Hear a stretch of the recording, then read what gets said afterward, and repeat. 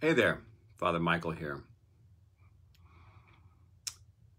Over the past year and a half, we have all had to deal with some things that we certainly were not anticipating, things that we never thought we'd have to deal with, fears and uncertainties, and wondering if maybe COVID was going to write the last chapter of our lives or the last chapter uh, in the lives of people that we loved. It was very disruptive. And suddenly, all of a sudden, a switch was thrown, and we had to find gratitude for things that we had formerly taken for granted. Things like going to live church services and concerts and the cinema, eating out in restaurants, salad bars, coffee shops, but also some other things, simple things like shaking people's hands and hugging people, the kiss of peace at, you know, during mass or during worship. That became something else. Grocery shopping became a struggle. I didn't buy groceries in the store for over a year. I literally had stuff dropped off at the door like I did five minutes ago. So a lot of things changed. I wasn't even able to visit my homebound people, my parishioners. I couldn't I couldn't visit people in nursing homes or hospitals. People were unable to have public funerals for the people that we lost. So it was a struggle. During that time, literally hundreds of people came by the church on Sunday afternoons and introduced themselves, and they came because I was offering drive through communion. And I got to know quite a few of them.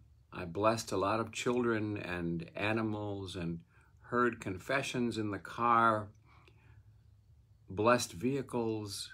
It was an amazing time. I was able to help people who were tweaking, people who were so intoxicated they really should not have been driving. But as soon as all the restrictions were lifted, what happened? All traffic stopped, including 99% of my own parishioners didn't come by for communion, even though there was not any live worship or live mass. The reality is, human beings seem to need tragedy and upheaval to remind us who we really are. So we don't get distracted by our pettiness and our narrow-mindedness and our you know our precious uh, convenient lives. We tend to be grateful only in hindsight rarely in the present moment. And the reason I'm on that page today is because yesterday was pretty traumatic for me personally. I I learned some medical news about my son that I should have been told 6 months ago but was not. And that news is that because of his many seizures, he is no longer going to be able to swallow food normally ever again. Those throat muscles have atrophied to the point of no return. And so the only way that he can get sustenance is to swallow pureed food. Literally everything has to be pureed into a thick paste in the blender. And even his liquids, he can't just swallow liquid or he will aspirate them. Everything has to be thickened, even his coffee. Well, needless to say, this dad was devastated learning this news. Because food is something that he and I have always shared, you know, it's it's part of communion. We received communion yesterday and I thought what what is that going to look like? So I just need to take a breath and pray. Because the idea that he and I will never be able to go out to a restaurant again and have a meal together is pretty devastating, to be honest. So that drive home from his place yesterday was in the silence for sure. No radio was playing, no music was playing. Pretty emotional, and, and had it not been storming basically all the way home, I had been planning to stop by the little shrine at the Poor Handmaids because that's a safe little place for me to go and just let everything out. The question why is looming large. Even though you know, my better self already understands that there is no answer to the why question in this life. Shit happens. There is no answer to that. There is no God up above saying, oh, you get to get COVID. Oh, you get to get HIV and die, but you get to get HIV and live 50 years. There's no God up there saying who gets to live, who gets to die. Life is a crapshoot. And God is not the author of all of these circumstances. But God is in all of those circumstances, always trying to help us to be with us. That is the meaning of Emmanuel, God with us. I am not alone in being tempted to ask the question, why? In, in the book of Judges, the story of Gideon is told. And in chapter 6:13, Gideon himself says, uh, you know, hey, what's up here? Because really, if our God is with us, then why is all this shit happening to us? That story of Gideon, I think, is one that I'm holding close right now.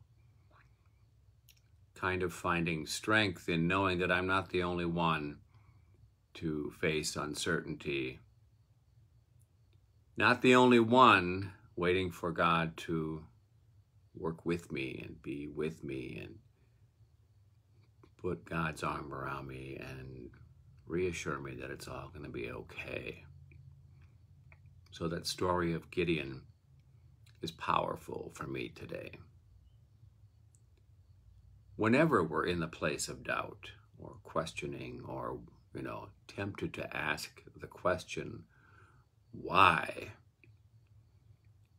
God is always with us, helping us. We may not see it, we may not always perceive it. Sometimes Straight up, it feels like we are in this mess all by ourselves, but that is not the case.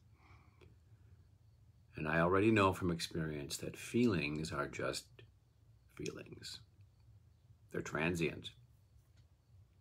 And they may or may not be accurate reflections of what's really, really true and what's really going on. I know from having lived this long that it is God who always takes our frustrations and our hurts and our doubts and our devastation and just helps us, gently guiding us along the path. And even if we don't know all the forks in the road and the bends and all of that on this path, I do know from experience that it always works out. So today, maybe a little turnaround. I'm asking for prayers for my son and for myself, but also for all of those who are struggling right now, whether it's with their addictive behaviors, their drug addiction, their alcohol addiction, their sex addiction, whatever it is that is distracting them from embracing God's grace in this moment. Let's remember all of those today who are asking why. That each of them might have an increase in trust, find a way to let go of resentment and fear, and find gratitude even in the struggle of this moment, because I promise you, the day will come when we will look back on today and be able to see with absolute clarity what an amazing gift today really is. Pray with me, please.